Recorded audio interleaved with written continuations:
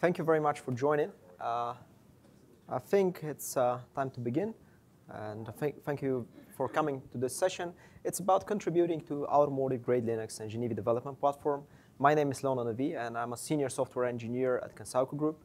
The company provides open source consultancy services for embedded devices and for the automotive industry. So as part of my awesome job, I had the opportunity to contribute to a lot of open source projects, a lot of upstream work. And that's how I got involved with both automotive grade Linux and GENIVI development platform. So today, I'll try to share with you my experience. The agenda for today includes a brief introduction, first to automotive grade Linux, then to GENIVI development platform. Uh, it's a very, very brief introduction, so I just want to show you some of the core components of, in both platforms. Uh, we can see the similarities between the, the, the, platforms.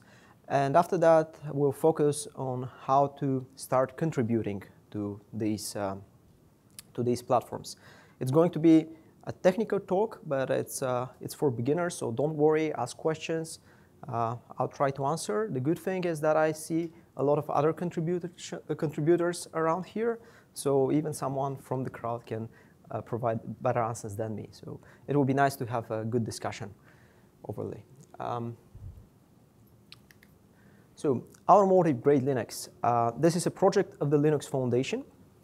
Uh, the purpose of the project is to create in-vehicle infotainment uh, GNU Linux distribution that is entirely open source. It's based on the Yocto project and Open Embedded. This is uh, um, the, the, the, build system that we are using. So basically, if you want to get started with this platform, the minimum requirements is to get familiar with the Yocto project and Open Embedded because you need uh, to know how to use BitBake to add recipes, to modify recipes, and this is the first step of uh, making contributions to the platform. How many of you are familiar with automotive grade Linux? Okay, almost everyone. Do you have a hands-on experience, like contributing patches or something like this? Okay, good. Three or four people. Um, I hope that by the end of this talk, all of you will be interested in contributing to, uh, to the platform. The platform was uh, founded in 2014, uh, but it really took off in uh, 2015 and last year in 2016. We have uh, some great uh, demos for Consumers Electronics Show in Las Vegas and this is the, the current stable version of AGL. Um, AGL is a project of the Linux Foundation, but there are a lot of companies that are members of the project.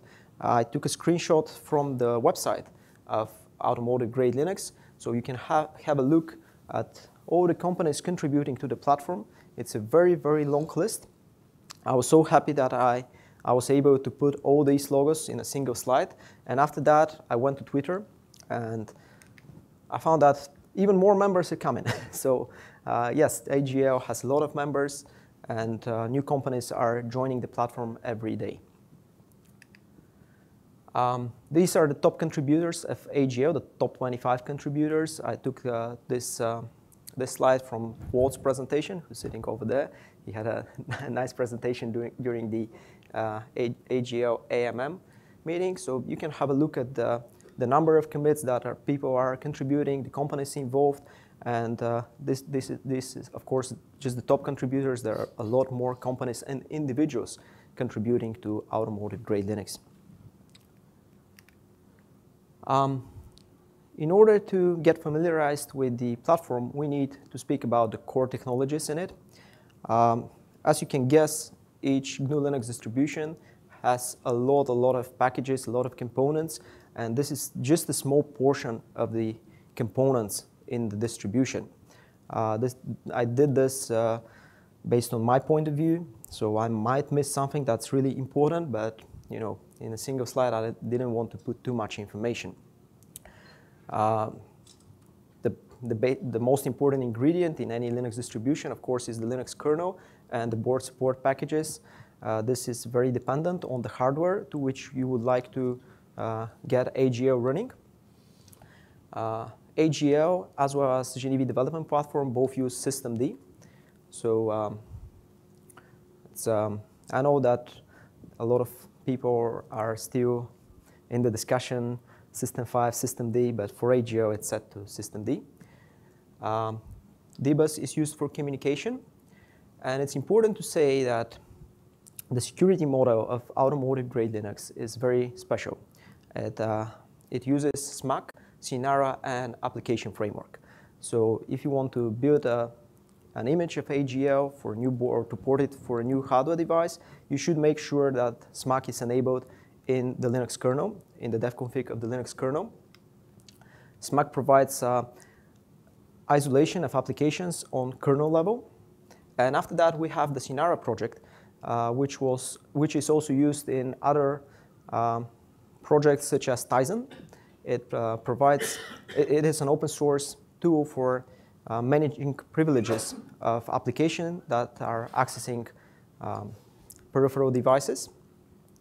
So for example, if an application wants to, a third-party application wants to access a camera or something like this, uh, the application should have privilege to access it, and Cynara is the software for making, uh, managing all these privileges. And on top of the security model, we have the application framework, which is um, basically the way to develop the application and to connect them to the rest of the security framework within AGL.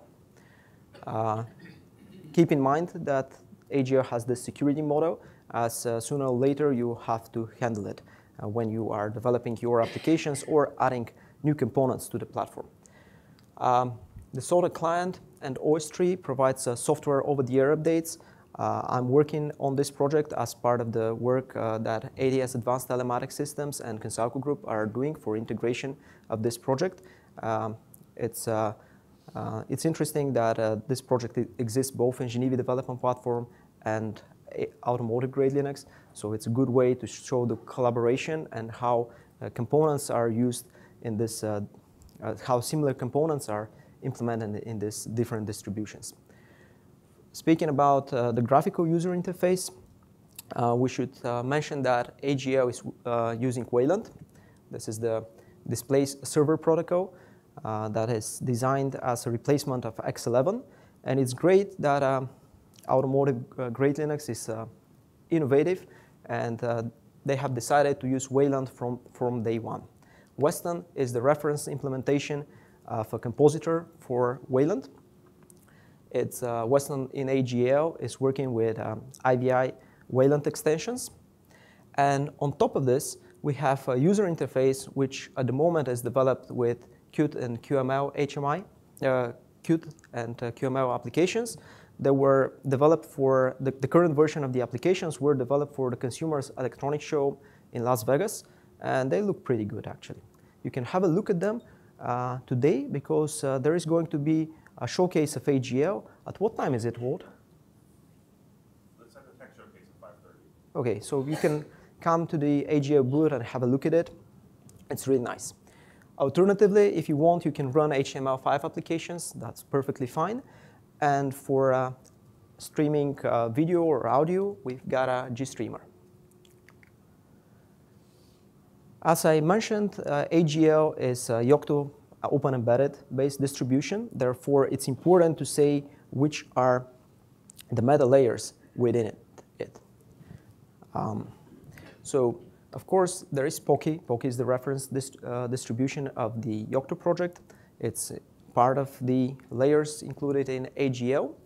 The special AGL layers are here, Meta AGL, Meta AGL Demo, Meta AGL Devel, and Extra. We have uh, the Meta Intel IoT security layer, which provides uh, some of the recipes needed uh, for building the security, um, the security stuff in AGL. And Meta OIC is the, um, is the layer providing um, interfaces for uh, IoTivity. This is a um, project, open source initiative for a project uh, for connecting um, um, smart home devices. So it's a good way to connect uh, the, these, uh, the connected car with the connected home. And of course, there is MetaQt 5, uh, which is needed for the Qt applications. Um, I guess you're interested to learn which are the supported devices, and AGL provides a long list of uh, devices that are compatible.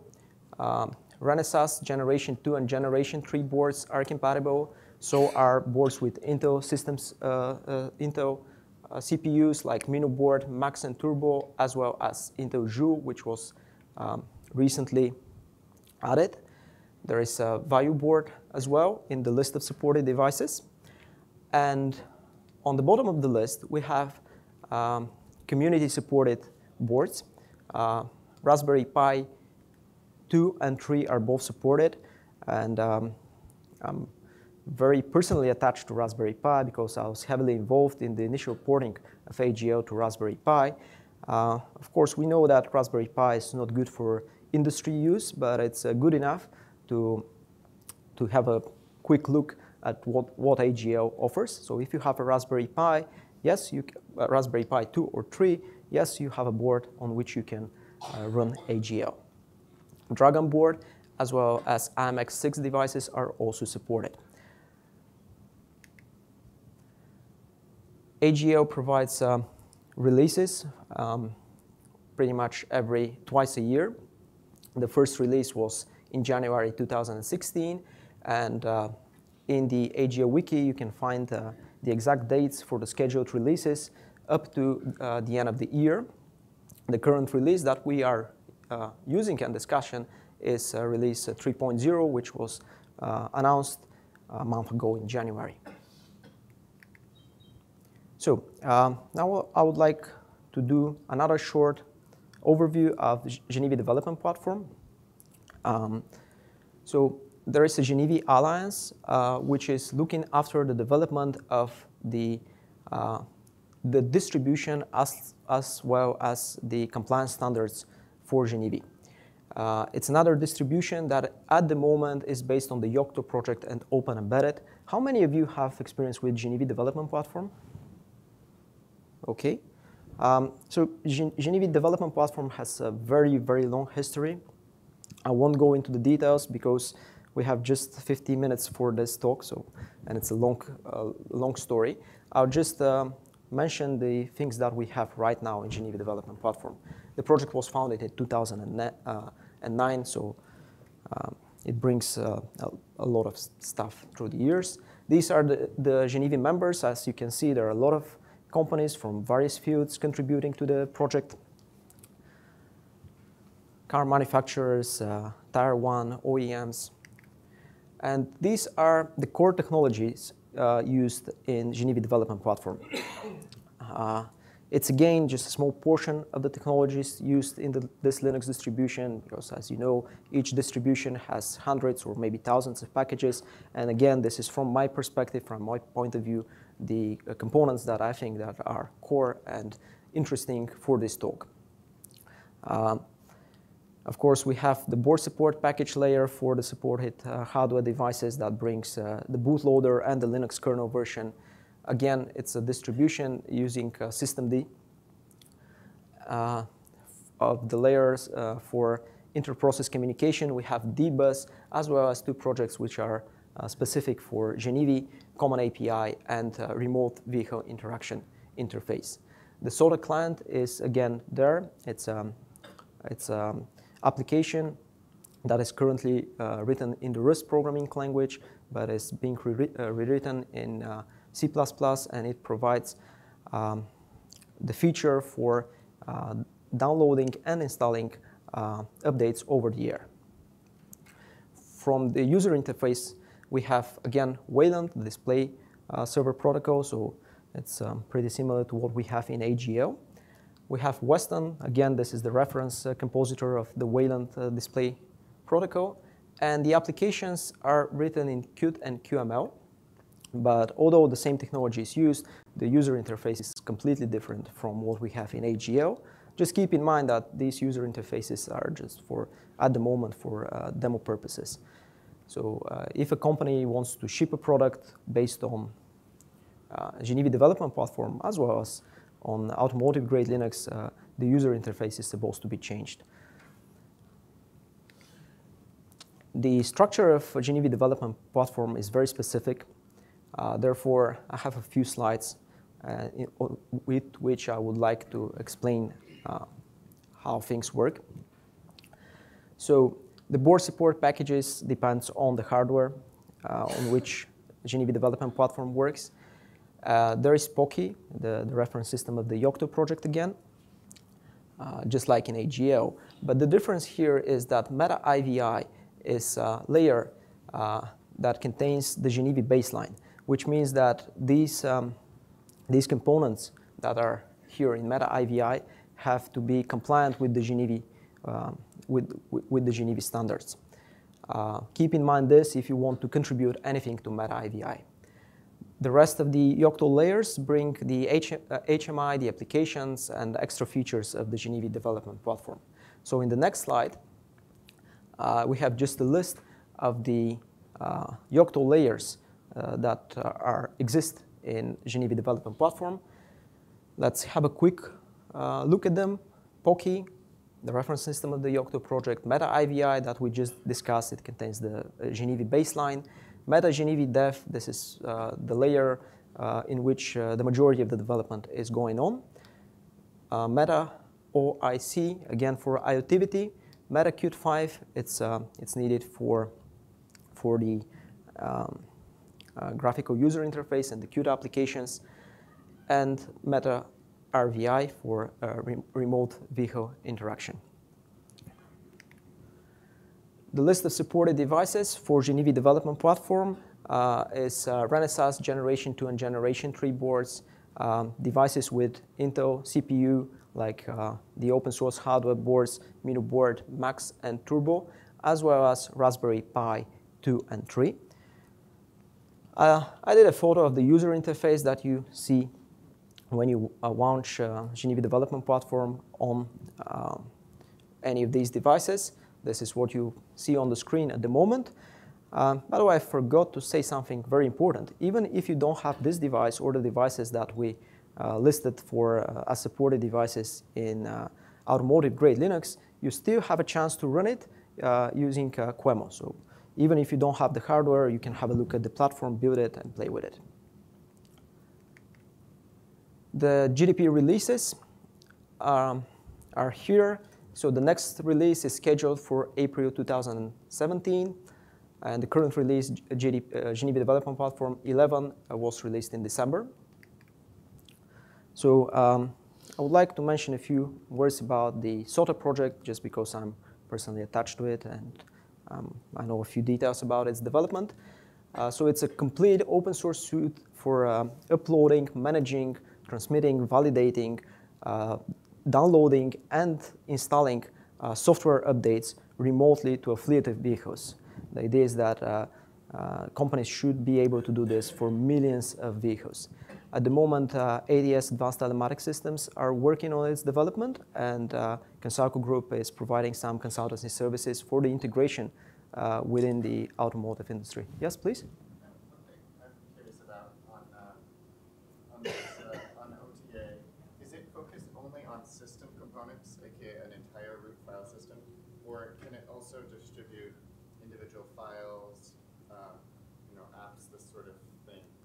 Okay, just to summarize the question and to repeat it for the video, uh, the question is uh, how is actually the uh, software over the air working in terms, is it uh, doing tissue upgrades or uh, full image updates? Is this a correct summary? Basically full image versus individual components okay. on top of an image.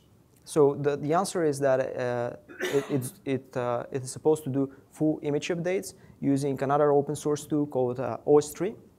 So in general, OSTree is a project that was uh, initially created for uh, GNOME, and it's uh, used in the continuous integration of GNOME. The project is known as GNOME Continuous, but it's a great tool because it provides um, static deltas, uh, like binary diffs, between the images. So uh, it's very convenient, especially for the automotive industry. And uh, OSTree provides us this feature that we can download smaller uh, files, just the, the, static deltas, and apply them. So yes, it's a full image update, but in the same time, it's not using the dual partition strategy.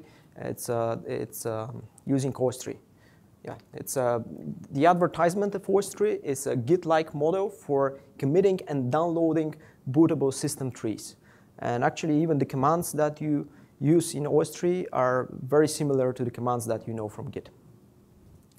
Um, the software over the air includes uh, both a client that is running on the embedded devices in the vehicles and a server that is uh, uh, supposed to be deployed in the cloud and uh, take uh, the intelligent decisions, uh, which version should be provided to the car and how to be installed.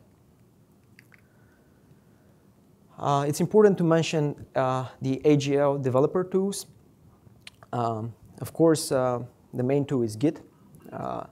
All the repos are in using Git, and uh, the Google repo tool is used to put together all the, the Git repositories of the meta layers that we saw on the previous slides that are combined together to build the AGL system.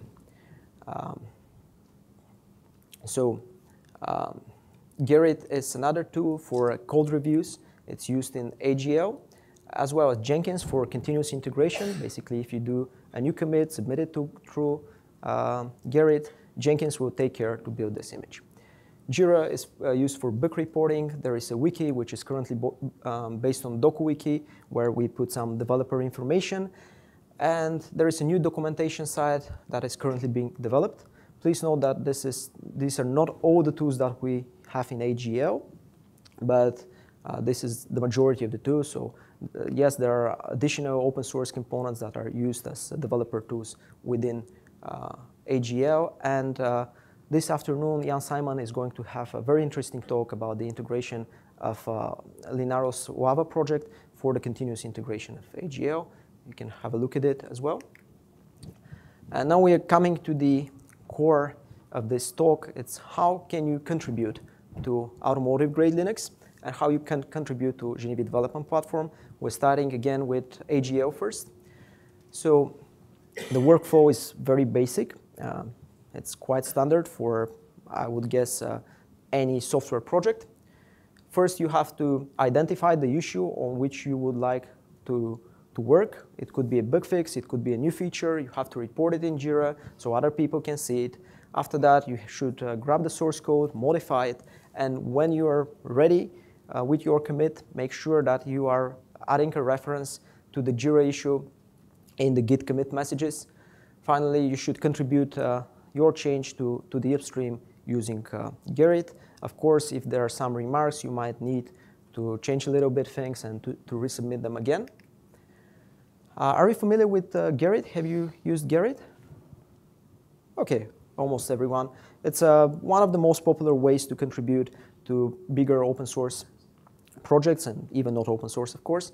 Uh, it's a free and open source web-based uh, team collaboration tool, perfect for code reviews. Uh, the first step that you should do to get started and to contribute to AGL is to go to identity.linuxfoundation.org to create an account and to get started. This is the basic workflow. Um, so it's a, it's a standard workflow for um, contributing through Gerrit we have uh, the AGL repo there.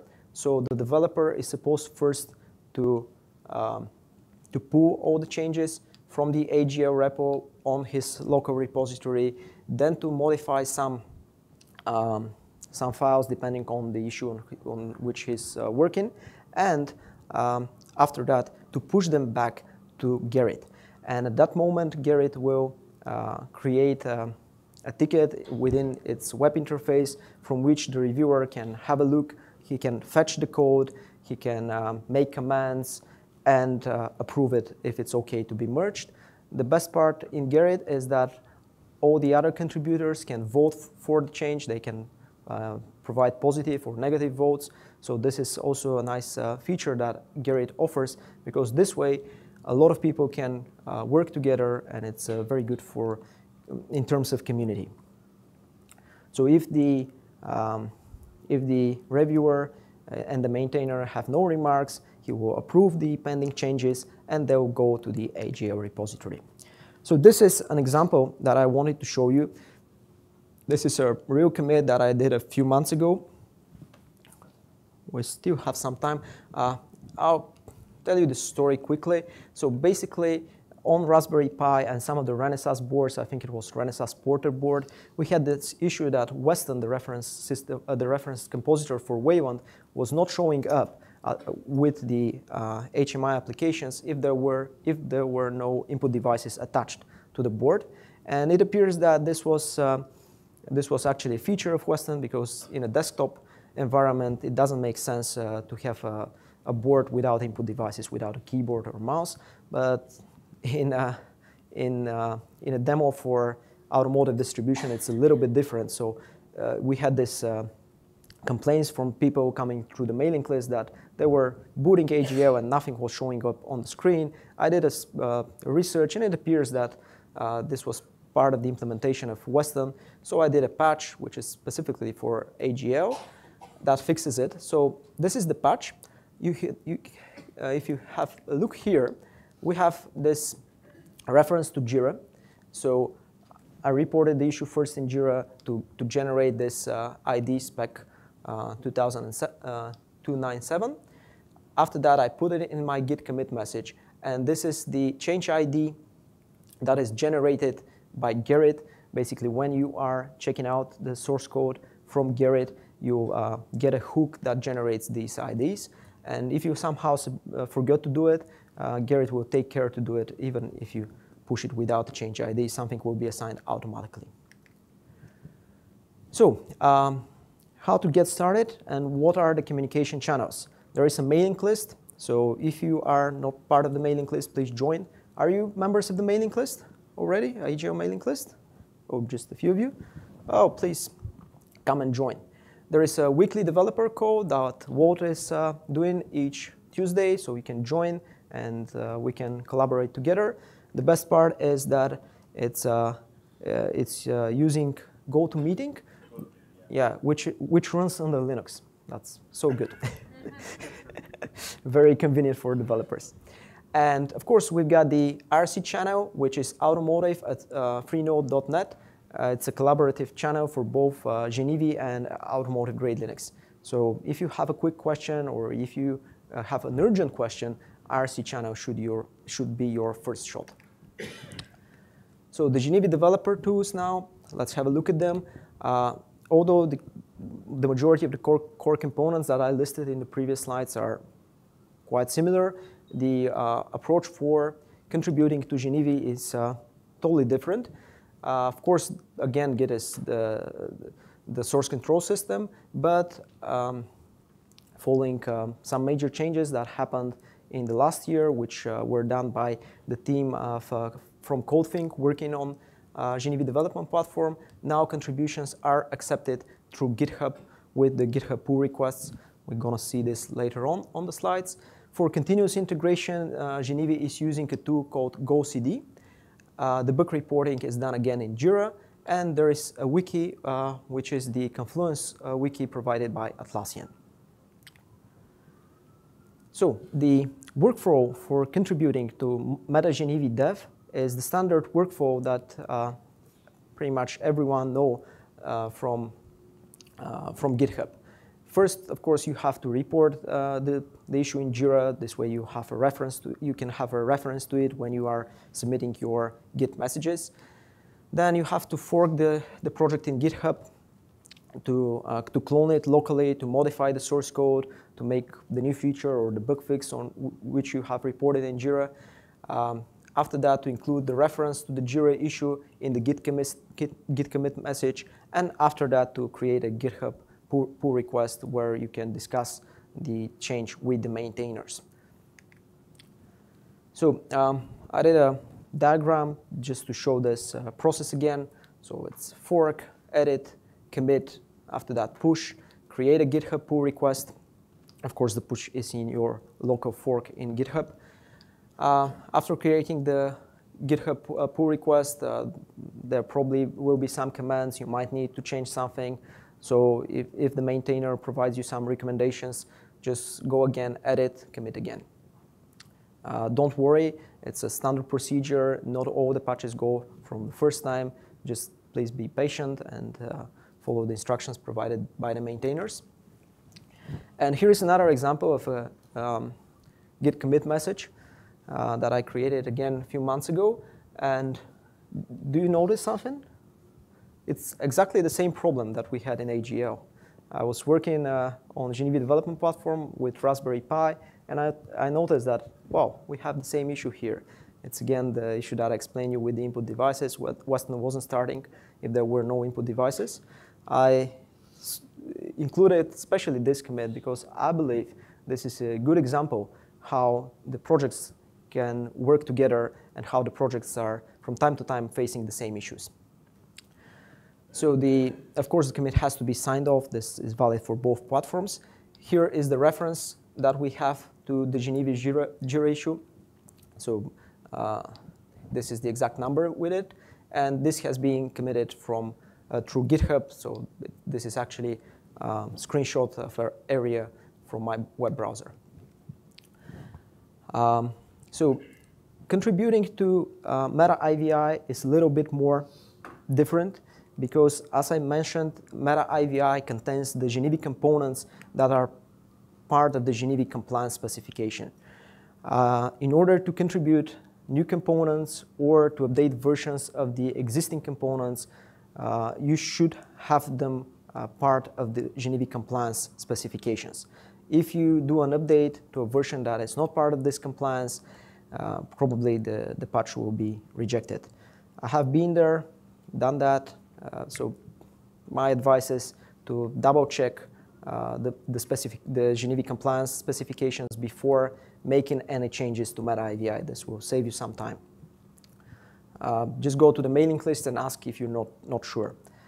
Again, the, the git commit messages uh, has to be signed, and they have to be submitted uh, using the Meta IVI mailing list, using the git send command.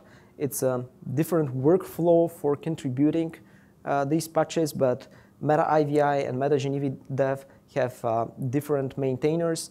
Uh, currently, uh, people from uh, WindRiver are looking after Meta IVI, while a team from Pelagicore is looking after Meta GENIVI Dev. Um, this is a, a, simple example to show you how you can submit the patch. It's a little bit different from GitHub, but again, it's a well-known procedure for submitting patches uh, through Git send mail. And the GENIVI development uh, platform has its own communication channels. There is a mailing list. I asked this about AGL, but how many of you are subscribed to GENIVI list? Okay. So don't hesitate, join the mailing list. Uh, there is an open call that is that take place uh, Wednesday. The one for AGL is on Tuesday. The one for GENIVI development platform is on Wednesday. So there is no conflict in terms of times. Unfortunately for me, because I'm a Linux user as a developer, my laptop is uh, running Ubuntu. Uh, development platform is using WebEx for uh, making these calls. In general, WebEx can run under Linux, but it's quite tricky to do it.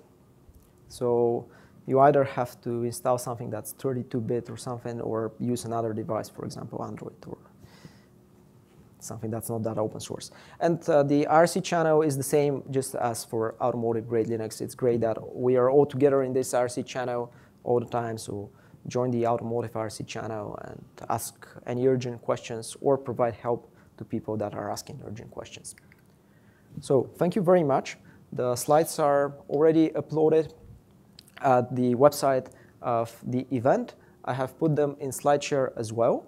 And we've got like 10 to 15 minutes for questions and discussions. Yes, please. Uh, you said the talk is for beginners, so I'm asking a beginner's question. So is there any relationship between those two projects? You said um, there is an exchange between those projects, but to me it seems that they are competing projects. So what is the relationship? Uh, okay, so the question is, what is the relationship between GENIVI development platform and automotive grade Linux? Uh, it's a simple question with a very tough answer because it involves a lot of politics, and I'm a software engineer. so you're putting me here in a hard situation. well, I guess in term uh, in marketing terms, yes, they're competing. Uh, in terms from technology, they have some similarities. They have some differences. Um, you saw the the list of uh, core components and the list of supported devices, so you can you can do the, the math and compare them. Um, so AGL at the moment is more uh, code first. So it's uh, AGL is uh, having a very rapid development nowadays, while GENIVI has these uh, compliance standards uh, that I described in uh, GENIVI baseline and uh, Meta IVI. Can I ask a second question? Yes, of course. So, um, are there specific um, focus areas for GENIVI versus AGL? Okay. the, the question is Are there specific areas GENIVI versus AGL, right? Another tough question. uh, well, let me think about it. Um, If you come to my AGL talk tomorrow, I, I'll tell you what the focus areas are for AGL. I have no idea what they are for GENIVI, so. I, I'm not feeling very comfortable to answering to such question because I don't want to compare uh, the, the two platforms in, uh, from the point of view of marketing. I just wanted to show you how you can contribute to both platforms since I have this experience. Yes, please, over there. Tell me about, um, so based on the AGL uh, wiki, the documentation and all that, um, there's a steering group, there's the expert groups, there's various uh, things with AGL. Can you tell me about each of these and how they, um, how they connect to each other? Okay, let me summarize the So, question. Steering committee, sorry, that's the word. Yes, uh, the question is about the AGL steering committee. Yes, uh, AGL has several layers of management. Uh, the steering committee is on top of them. them. Um, it's again a, little bit of a politics question that I'm not sure that I can provide exact answer, but I'm sure that Walt can. So probably his talk could provide you more details. About contributing, everyone can contribute, companies or individuals.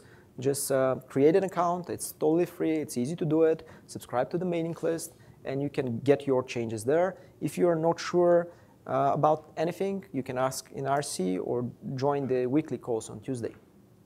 Yes, please? Uh, how closely are you tracking upstream, uh, MetaOE and Poky? Oh, excellent question. So the question is, how closely is the upstreaming with uh, the Yocto project and Open Embedded, like uh, Poky and Meta OE? Um, thank you very much for this question because I had in mind to, to mention this and I forgot to say it. The Yocto project has a six months release cycle, so every six months there is a new release, and the current uh, stable release of the Yocto project uh, is called Morty. This is version 2.2 and uh, both platforms are trying to stick to the to the newest releases. So as soon as there is a new release of the Yocto project, um, automotive grade Linux and GENIVI development platform are updated accordingly uh, to the uh, to the release schedule that they have. Uh, other questions? Yes, please. So I have basically the same question about the Linux kernel versions that all the vendors use. Uh, So are there, uh, are there, does the project try to dictate which version of the kernel to use, or is it just totally up to the vendors? Okay, uh, are you asking for a specific? Uh, Oh,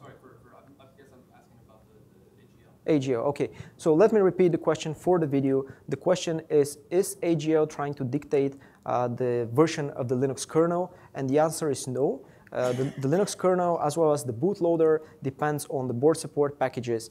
Um, from the slides with the supported devices in AGL, I mentioned that we have some vendor-supported uh, platforms and we have others that are community-supported, such as Raspberry Pi. So it depends on the board support package provided by the um, by the hardware vendor or the community looking after the specific device that is supported. Of course, you have to keep in mind that it could not be very old kernel because you have to use systemd, which requires some C groups, and you have to use uh, SMACK, but uh, uh, pretty much any, any modern device has these capabilities, or I hope they have it. Yes, please. And what's your, I I guess it's your philosophy or workflow on contributing? So for instance, what that Weston patch, did that get pulled upstream? Okay. Um, hanging out in a, a layer downstream? Okay, so let me repeat the question again. So what is the philosophy for contributing upstream to the projects, to the core open source projects that are used in AGL, right? So uh, based on the example that I gave with this Weston patch, uh, depends, depends on the patch. The current patch that we uh, had a look here uh, is for um, is for uh, Weston, the, the versions of Weston used in the platform. By the time when I did uh, the patch, uh, AGL was work using Weston 1.9, uh, and AGL was working uh, is using uh, Weston 1.11. So um, the patch is not upstream because uh, it's very specific. I'm not sure it works well for the desktop use case. It's very specific for the demonstrations of both two platforms on these devices. And Weston is moving forward with the releases. Basically, the, the platforms are following the release, the, the versions of uh, Weston and Wayland uh, set by the releases of the Yocto project and Open Embedded. I hope this answers to the question. It's, it de depends on the patch. Sure. I was just wondering, because now you go to 11, you're going to have to maintain it and pull forward. Is it better to Uh, that upstream with a patch config or? For the specific patch uh, in the newer Weston versions, they already have a configuration to enable or disable this, so it was not very appropriate to submit it upstream. Yeah. Um, any other questions? Yes, please. So we're on the subject of Weston. I noticed on the Weston.ini file, you manually edit resolution right now. Um, and if you have a different screen size, you have to change that. Is there a way to auto detect, or is there any thoughts about that? Okay, so the question is uh, about Weston. I'll just provide a few details before repeating the question. Weston has a configuration file called weston.ini, and the question is uh, why do you have uh, to set resolutions at the weston.ini file? It's a question that is valid for both platforms since both platforms are using Wayland and Weston. And uh, the answer is that it depends on the supported, uh, uh, supported monitors. Um, it's a little bit tricky to have everything working in full HD on all supported devices with the touch screens. Uh, so both platforms have a list of supported uh, and preferred uh, touchscreen devices. It does not mean that you cannot use them with other devices. Yes, of course you can, but for other devices you might need some additional efforts. And uh, yes, the Weston INI files contain these uh, specific configurations in terms of um, uh, screen resolution depending on the supported hardware. So it's a kind of a hardware-specific solution. Typically, you just override it with BB append in your personal layer, and then it just overlaid over the top. Uh, It's, you, you yourself know best what resolution it's pretty much how it's done because the different devices that are supported have uh, different hardware capabilities. Therefore, uh, we have uh, BB append files that extend the, the basic recipe and overwrite the Weston INI file. I hope this answers the question, and thanks for the help. Any other uh, questions? Okay, thank you very much for joining the talk. I hope you enjoyed it.